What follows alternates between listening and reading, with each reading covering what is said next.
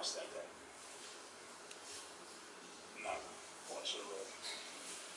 Um, now, the McMichaels told police in the police report here that he had been seen, Arbery had been seen, um, on surveillance video.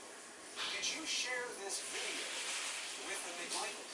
None, not whatsoever. Also said he never shared the surveillance video with the McMichaels. In fact, he himself didn't even view it until after Arbery was dead. He claims that he never directly even told McMichaels that someone had been on his property multiple times.